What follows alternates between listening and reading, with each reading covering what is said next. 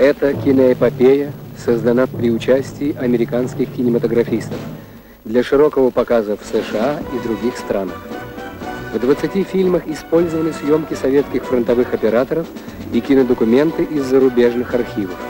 В Соединенных Штатах Америки, где многие не знают о решающей роли Советского Союза в разгроме гитлеровской Германии, о сотрудничестве союзных держав в годы войны, эта кинопрограмма вышла под названием «Неизвестная война». Для советского народа это была Великая Отечественная война. Он вел ее во имя свободы и независимости своей социалистической родины, во имя избавления Европы да и всего мира от фашистского порабощения. 20 миллионов жизней советских людей унесла эта война. Наш народ не забудет ее никогда. Леонид Ильич Брежнев.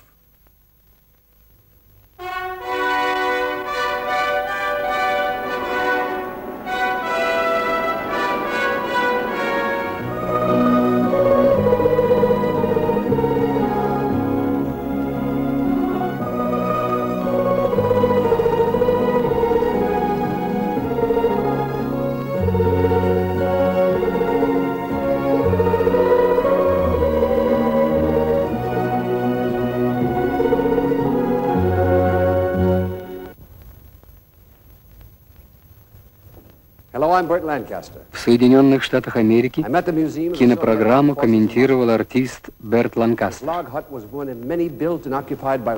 В Музее Советской Армии в Москве сохранена эта землянка, партизанское жилище. Еще один своеобразный памятник войны. Войны за линией фронта. Когда Наполеон вторгся в Россию в 1812 году, он захватил Москву. Но в тылу русские партизаны превратили жизнь завоевателей в ад. В 1941 году, когда полчища Гитлера вторглись в Советский Союз, под пятой оккупантов оказалась большая территория. Однако в тылу врага развернулась поистине народная война. Советские партизаны уничтожали немецкие части, взрывали склады боеприпасов, пускали под откос эшелоны. Партизаны действовали всюду, в густых лесах и болотах Беларуси, в катакомбах Одессы, которые они превратили в центр подполья. До последнего сражались молодые подпольщики при Черноморье.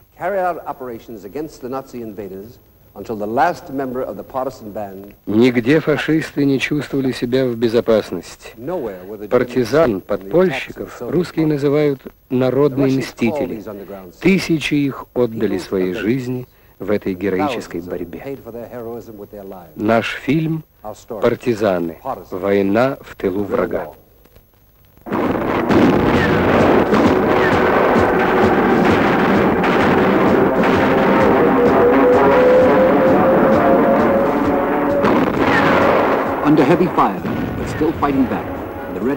Трудным было лето 41-го. Советская армия оказывала яростное сопротивление внезапно напавшему врагу, но вынуждена была отходить. Нацисты наступали по фронту, равному всей европейской границе Советского Союза.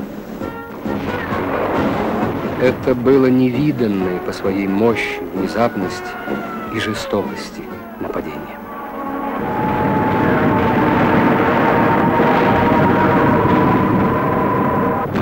Фашистские орды топтали равнины Украины и Беларуси.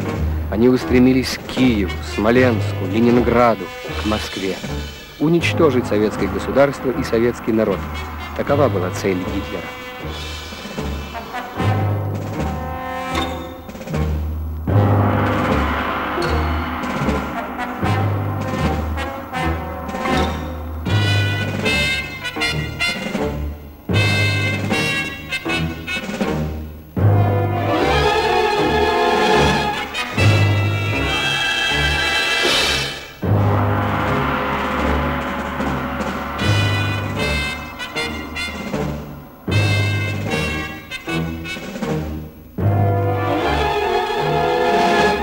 Этом году в России умрет от голода от 20 до 30 миллионов человек. Некоторые народы надо сокращать, вещал Геринг. Ведомство Розенберга, так называлось Восточное министерство, строило конкретные планы. 65% западных украинцев переселить в Сибирь. Три четверти населения Белоруссии туда же. В отношении русского народа признавалось лишь два варианта. Или полное уничтожение, или онемечивание той его части, которая имеет явные признаки нордической расы. Последнюю точку в этой взбесившейся стратегии поставил Борман. «Гигантское пространство должно быть усмирено», — заявил он. Лучше всего этого можно достичь путем расстрела каждого, кто бросит хотя бы косой взгляд.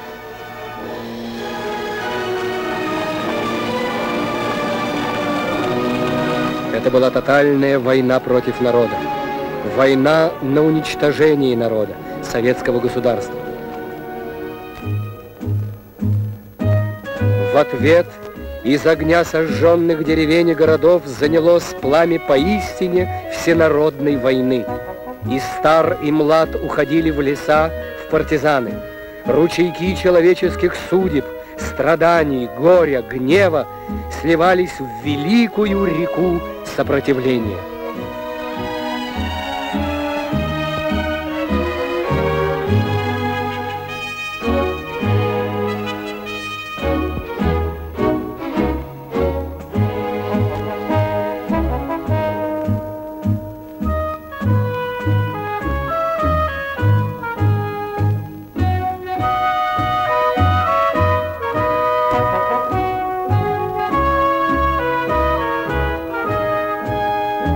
Партизанские отряды пополняли солдаты и офицеры, вышедшие из окружения.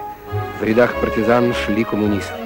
Все они знали, борьба будет трудной, долгой и беспощадной. Одной из первых героинь партизанок стала Зоя Космодемьянская. Ей было всего 18 лет. Осенью 41 года, в дни Великой битвы за Москву, Зоя была заброшена к немцам. Фашисты повесили ее в центре села. Зои Космодемьянской было посмертно присвоено звание Героя Советского Союза.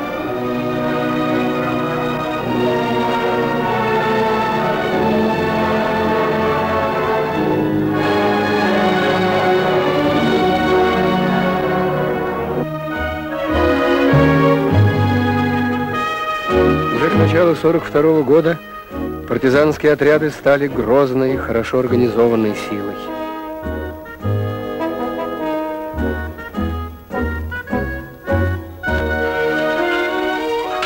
Прежде всего, партизаны нуждались в оружии. Сами ковали его, отбивали у врага, доставали в боях винтовки, гранаты, ножи.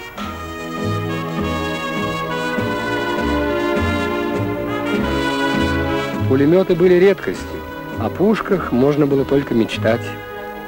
Но главным их оружием стала беззаветная любовь к родине и святая ненависть к захватчикам. Они клялись. Я гражданин Великого Советского Союза, верный сын героического русского народа, клянусь, что не выпущу из рук оружие, пока последний фашистский гад на земле не будет уничтожен. За сожженные города и села, за смерть детей наших, за пытки, насилие и издевательство над моим народом, я клянусь мстить жестоко, беспощадно и неустанно, кровь за кровь, смерть за смерть. Я клянусь что скорее умру в жестоком бою с врагом, чем отдам себя, свою семью и весь советский народ в рабство коварного фашизма.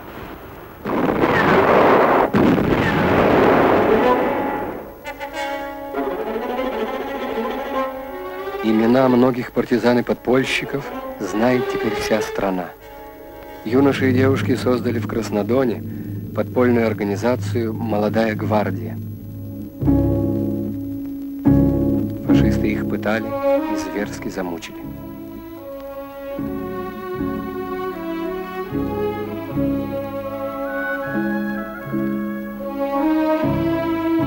Они были бесстрашными и смелыми борцами. thank you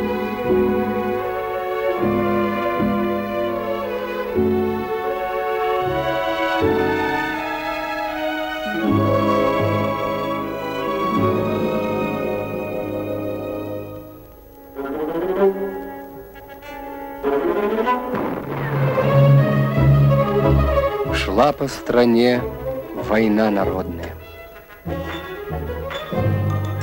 У партизан поначалу почти не было мин, не хватало взрывчатки, и они проявляли поистине чудеса смекалки.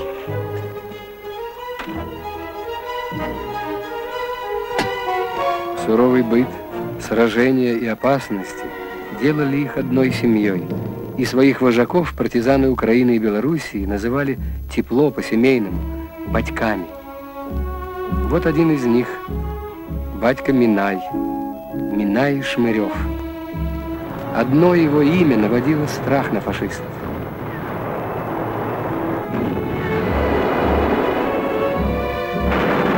И они отомстили батьке Минаю. Сожгли его хату, убили детей. Дочку Лизу, двух сыновей, Сережу и Диму. Не пощадили и младшего, двухлетнего Мишу.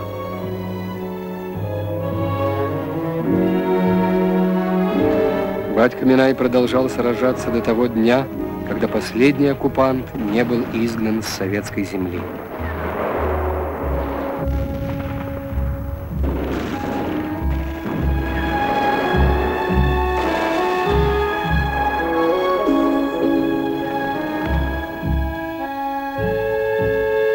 Партизанские семьи.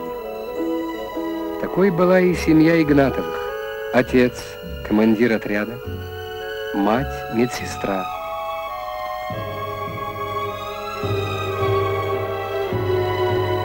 Сыновья – минеры Евгений и Геннадий. Они пустили под откос немецкий эшелон, но и сами погибли в бою. Братья Игнатовы стали героями Советского Союза. Их именем был назван один из белорусских отрядов. В те годы многие партизаны, чтобы не подвергать опасности близких, носили вымышленные имена. Вот этого прославленного командира называли просто «дед». Председатель горосполкома в маленьком украинском городке Путивле, он стал к концу войны знаменитым партизанским вожаком. Мудрый и бесстрашный дед Сидор Ковпак. Лев Толстой писал в «Войне и мире» о дубине народной войны, обрушившейся на Наполеона. Теперь советские партизаны стали настоящими хозяевами в Дубравах и чащах. Они даже собирали партизанские конференции, обменивались опытом, координировали действия.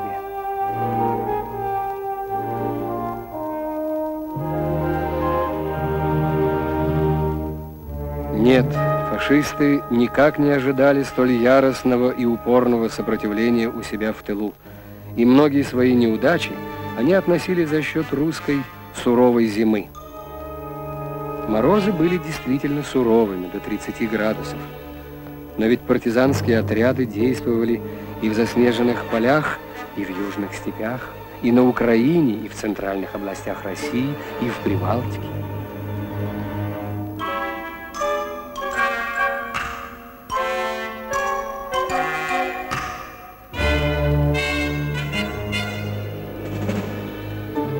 Если уж вспоминать о морозах, то партизанам от них доставалось сильнее. У них ведь не было теплых зимних квартир. Однако диверсии, вылазки, налеты не прекращались.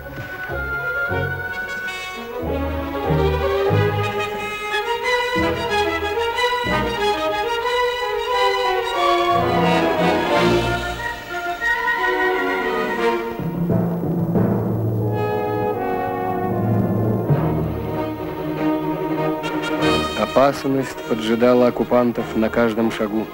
Она проглядывала из-за каждого дерева, из-за каждого куста.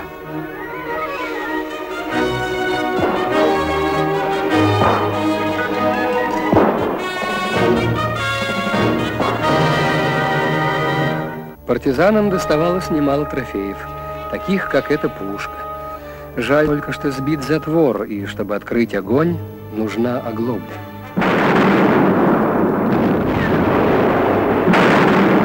Ценная добыча в разведке – немецкие пленные, языки, как называли их русские.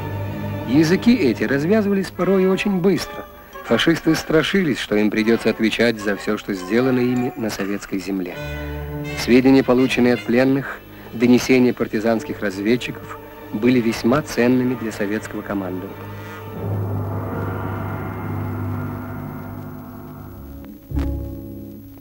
Кто знает, сколько голов сложили в боях отважные разведчики, герои-партизаны.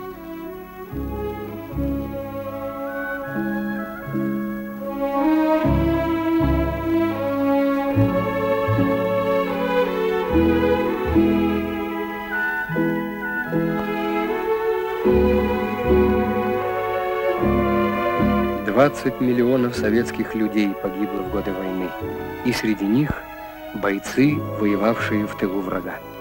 Их боевые дела, их редкие минуты досуга, их быт сохранили для нас съемки кинооператоров. Среди них были две женщины, Атилия Рейзман и Мария Сухова.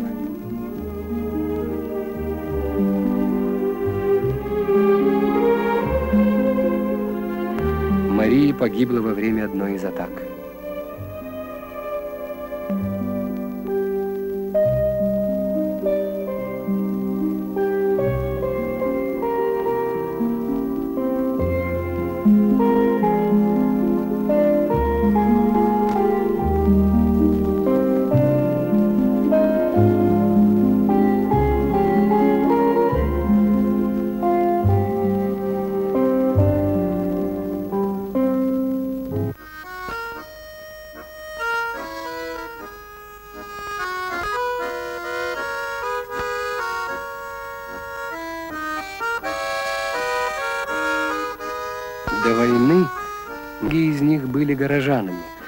Теперь им пришлось три бесконечных года жить в лесной глуши.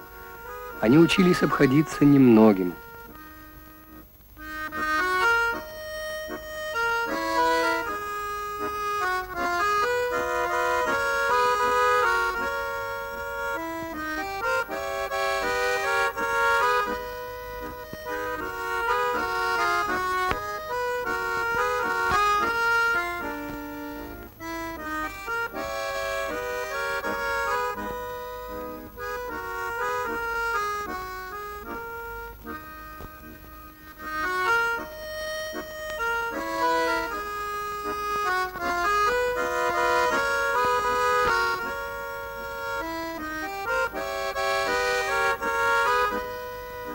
В лесных госпиталях не хватало лекарств, инструментов. Партизанским хирургам порой приходилось действовать ручной пилой. И вместо наркоза стакан водки.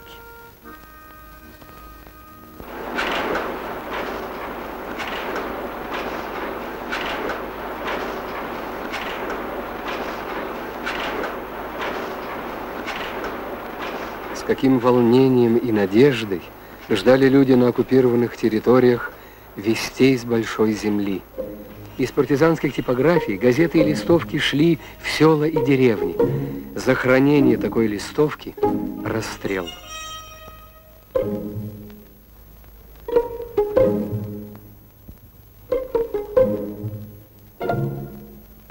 А вести в подпольных изданиях уже радовали. В войне наступил перелом – под Сталинградом разгромлена и пленена целая немецкая армия. Это была великая победа. Далеко, на Тихом океане, флот Соединенных Штатов вел бои с японцами. В Северной Африке англичане сражались с войсками Ромеля. И правда о Сталинграде, правда о победе была тогда необходима, как хлеб.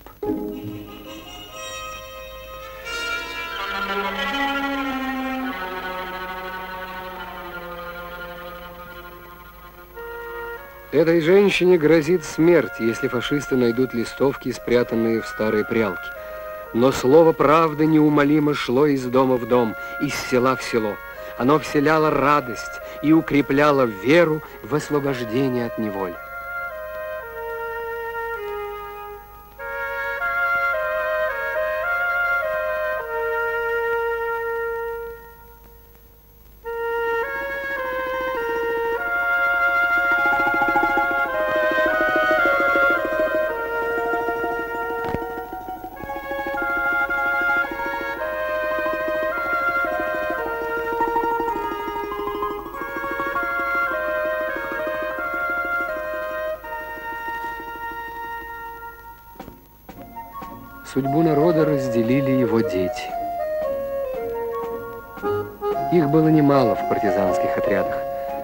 Маленьких разведчиков, смелых и смышленных, настоящих юных героев.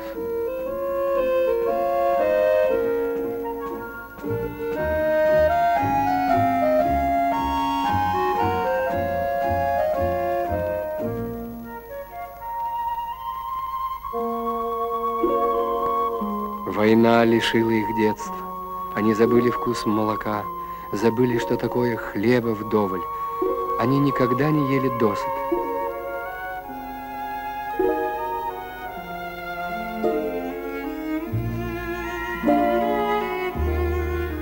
Белорусском городке Полоцке был детский дом. Фашисты замыслили страшное – отправить сирот в клинику и там ставить на них опыты, как на животных. Партизанам удалось узнать об этих планах нацистов. Они вывезли детей из города, а затем отправили их в тыл.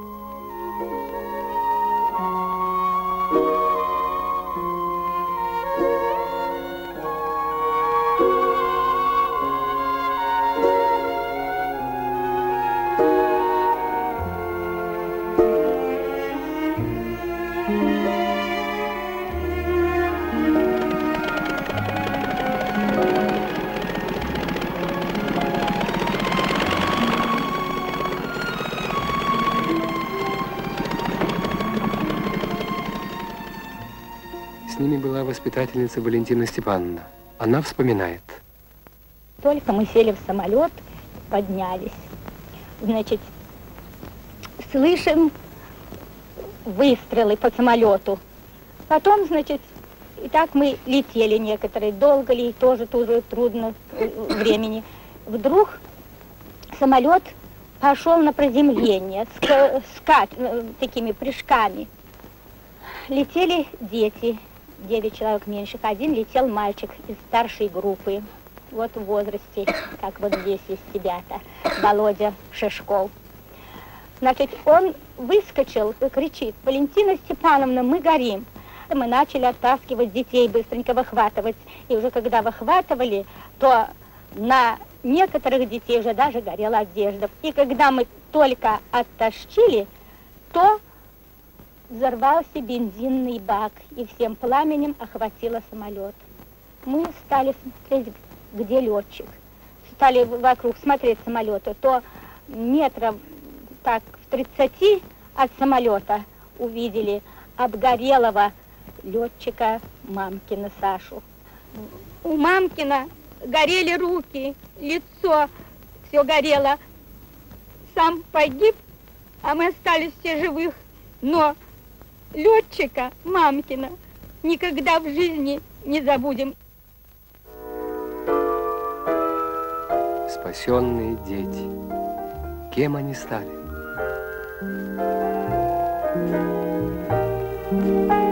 Владимир Шубин работает на заводе в Минске.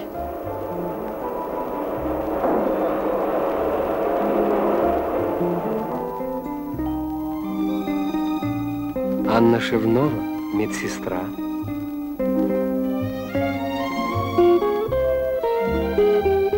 Анатолий Лотко, ремонтник локомотивов. Маргарита Яцунова трудится в Полоцке.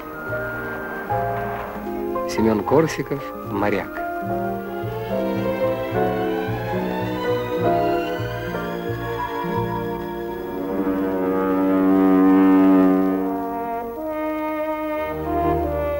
Это карта наибольшего продвижения немецких войск вглубь территории Советского Союза. Посмотрите, не было ни одной республики, ни одной области на оккупированной территории, где не сражались бы партизанские отряды, не действовало бы подполье.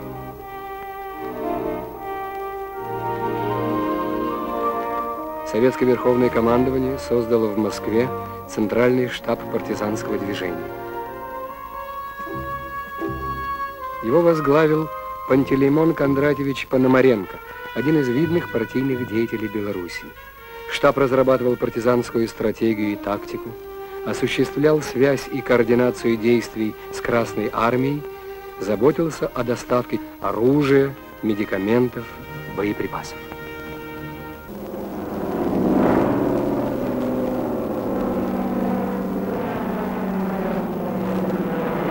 С большой земли самолетами в партизанские леса забрасывалось все необходимое, а обратно в тыл переправляли раненых и детей.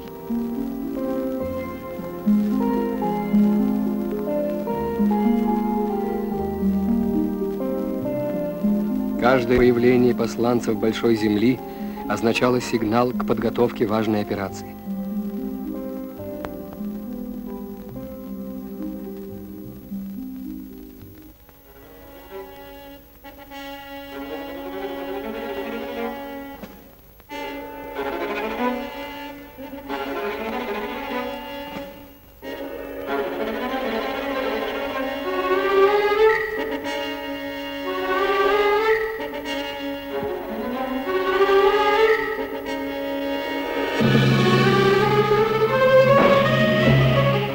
Действия партизанских соединений принимали все более крупный размах. Только зимой 42 -го года против партизан немцам приходилось держать 11 пехотных и кавалерийских бригад, 10 охранных дивизий и один горнострелковый корпус.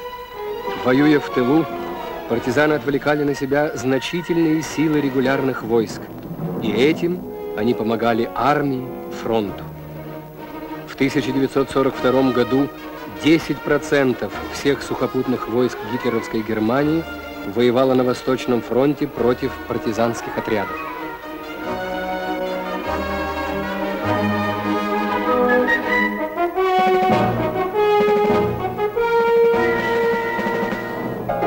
Одну за другой гитлеровцы направляли карательные экспедиции –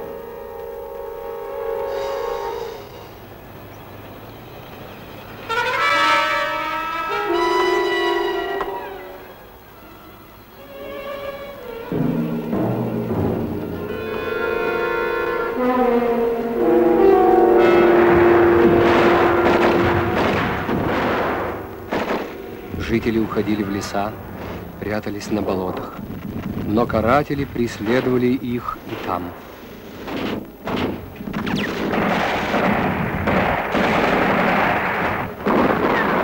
Эти кадры снимала немецкая хроника, видимо, для того, чтобы запечатлеть энергичные меры немецких войск по борьбе с мирными жителями, помогавшими партизанам. Приказ фашистов гласил, на оккупированных территориях жизнь человека ничего не стоит –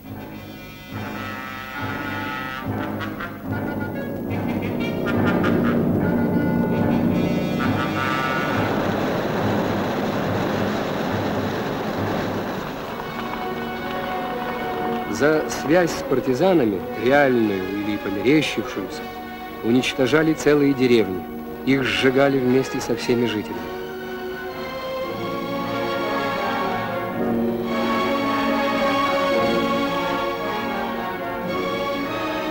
За время оккупации гитлеровцы уничтожили на Украине более 4 миллионов человек.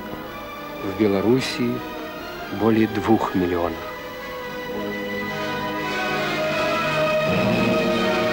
Горе и ненависть испытывали советские люди, чьим глазам открывались такие картины.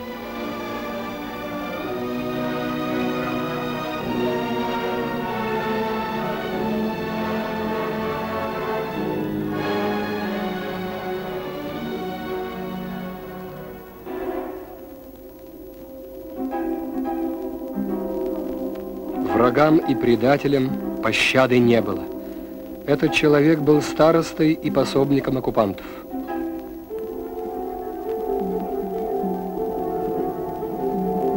Судят предателей, судят всем миром за измывательство над односельчанами, за преступление перед Родиной.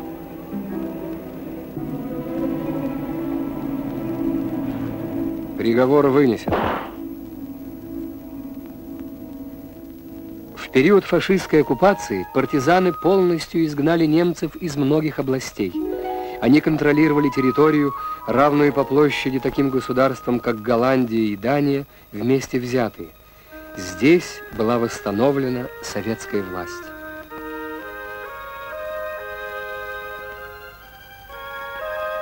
Один из таких свободных районов находился в Беларуси. Его называли Рудобельская партизанская республика.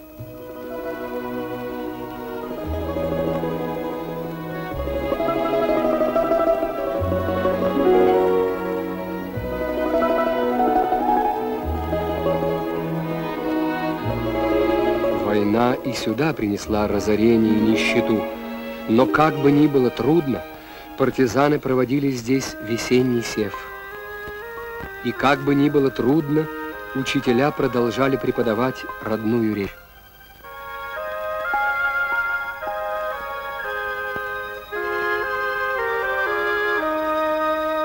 Здесь продолжали выходить газеты.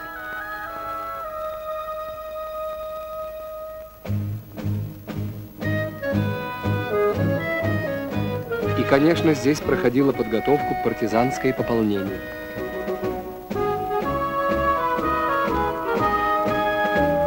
Отсюда отряды уходили бить врага.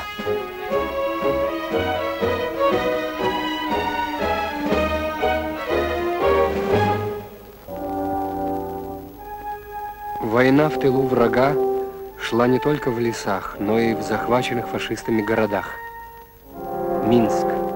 Столица Белоруссии. В этом некогда цветущем, полном жизни городе оккупанты убили 300 тысяч человек.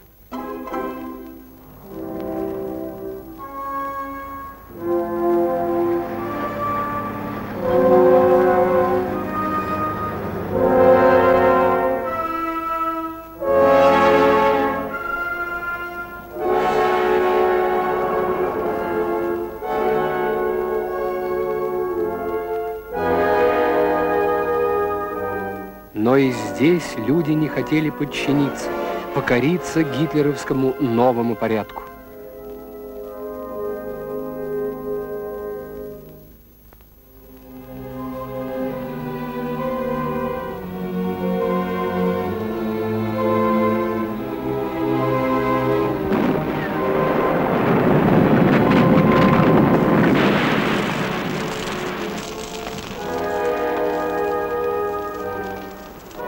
Активно действовали подпольщики. Они совершали диверсии, выводили из строя коммуникации фашистов, взрывали склады, убивали карателей, и в немецких оккупационных газетах все чаще появлялись траурные рамки.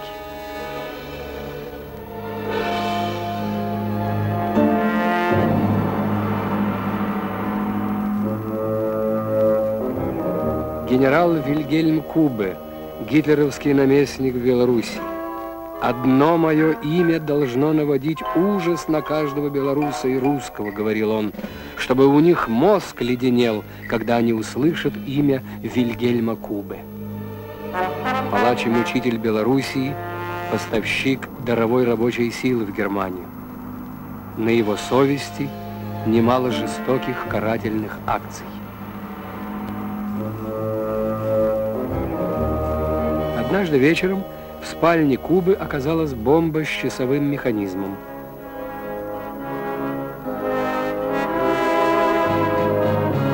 Уничтожили Кубы минские подпольщицы Осипова и Мазаник.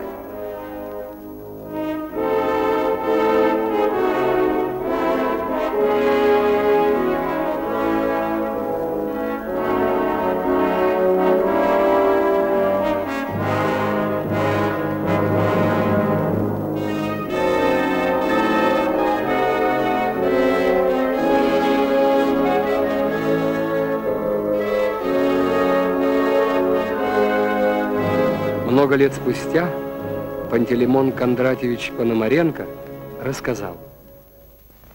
Так называемая магнитная мина. Это по единодушному признанию партизан, она являлась королевой мин. А нее в самом начале у нас не было. Немцы пишут в одном из э, работ о партизанах, что говорит, господин Пономаренко закупил в Швейцарии 7 тысяч часовых механизмов, и они сделали магнитные мины. А в самом деле, если бы он знал, что мы их отправили в тыл 750 тысяч, так какие там 7 тысяч механизмов. Это наши люди сделали. Вот так Галя взорвала Кубы как? Вечерком они приготовили ее, поставили на 24 часа. А на другой день положили Кубы в постель. Вот от такой мины.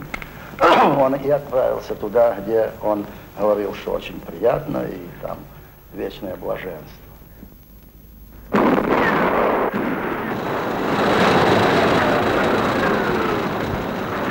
Наступило лето 43 -го года.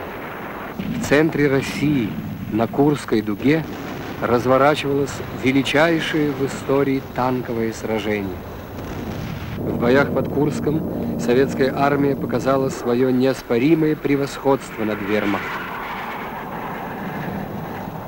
К этой битве несколько месяцев готовились и партизаны. Центральный штаб партизанского движения разработал план грандиозной операции. Он получил название «Рельсовая война».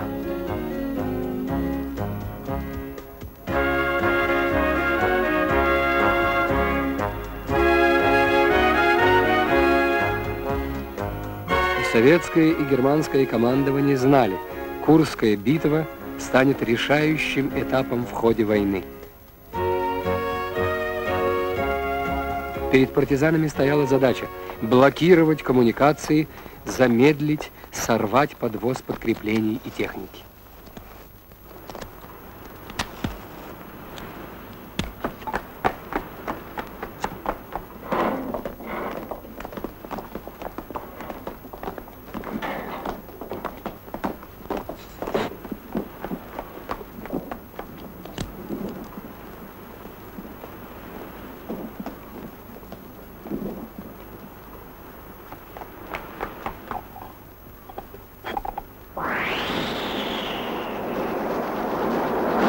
На 3 августа 1943 года началась операция «Рельсовая война».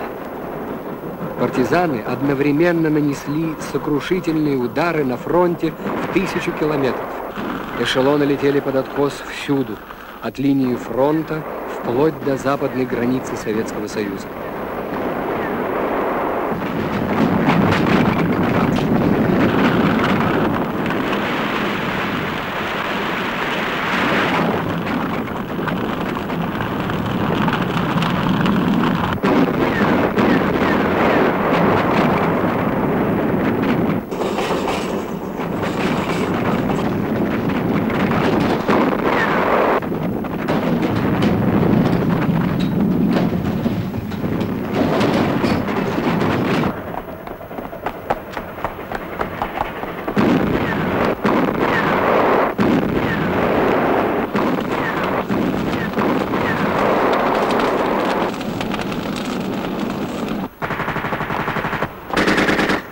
И несмотря на все предосторожности, за месяц враг терял до 200 локомотивов.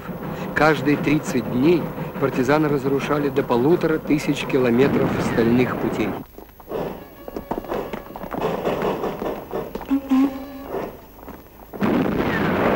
И восстановить разрушенное фашисты уже не могли.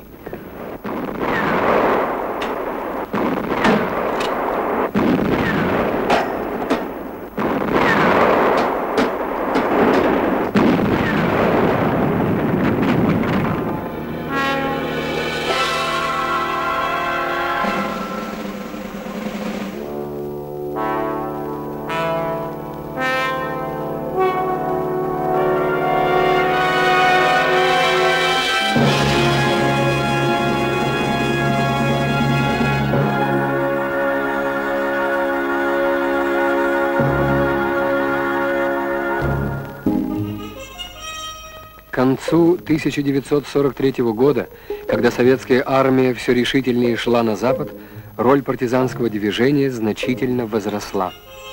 Командирам крупных партизанских соединений присвоили генеральские звания. Легендарный дед Сидор Артемович Ковпак. Комиссар отряда Руднев. Вместе с Ковпаком они прошли от Путивля до Карпат.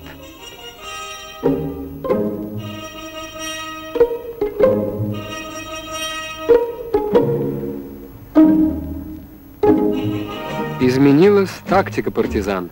Они не только совершали налеты и диверсии, теперь они были достаточно сильны для глубоких рейдов по тылам фашистских войск. У них была уже собственная артиллерия. Они уничтожали гарнизоны, освобождали села и даже города.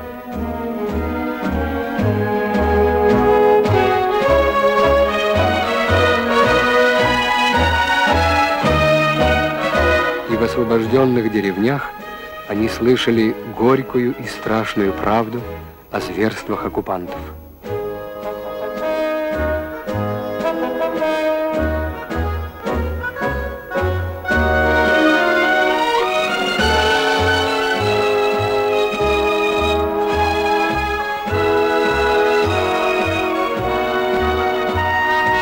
Все более сложные задачи приходилось решать партизанским командирам.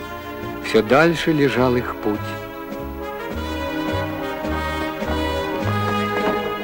Через большие и малые реки, через Днепр, Припять.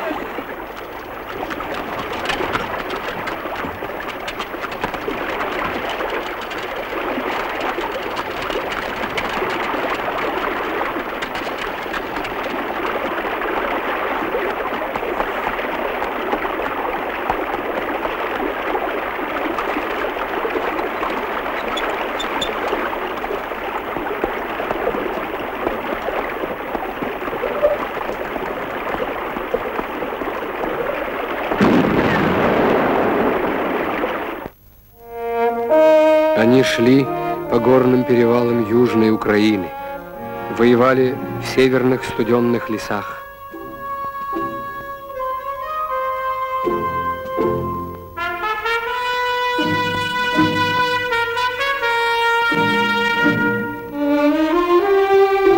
Вермахт все чаще оказывался между молотом и наковальней. С фронта атаковала советская армия, с тыла партизаны. И наступал долгожданный час общей победы.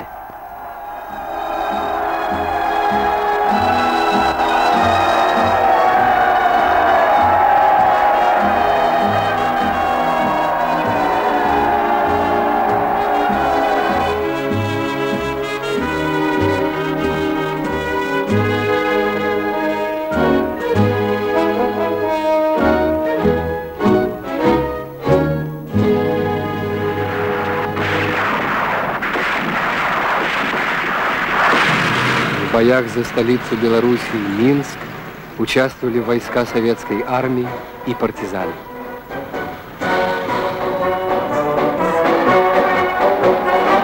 Прямо из боя пришли они на свой парад.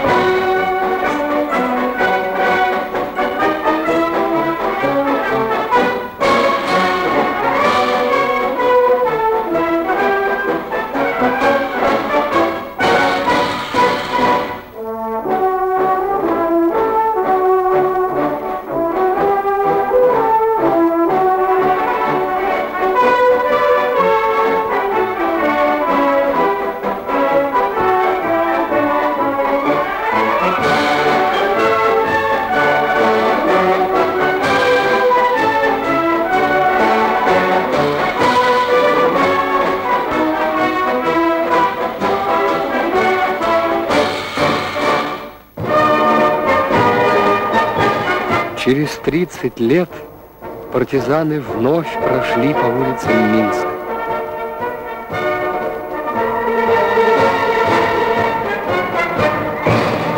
И словно вся страна собралась на этот парад.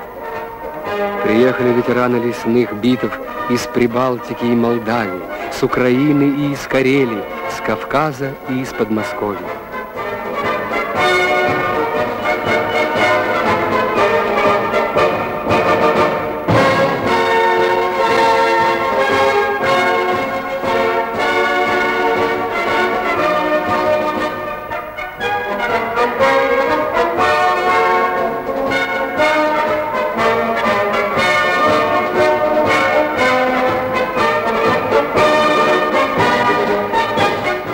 Изменили их, но время не смогло заставить потускнеть их героические деяния. В сознании советского народа их подвиг не померкнет никогда.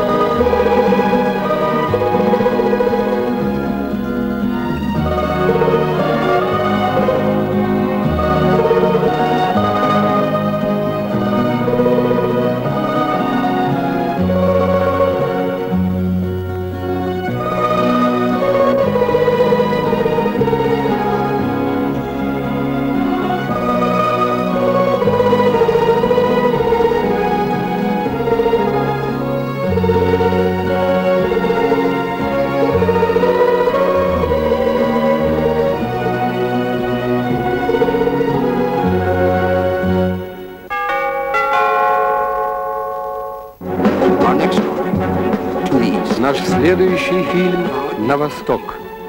Героическое переселение людей, эвакуация целых заводов, ценностей, различного оборудования за Урал и в Сибирь. Там все это собирали вновь, строили заново для борьбы против фашистской Германии. Это одно из малоизвестных сражений Великой Отечественной войны.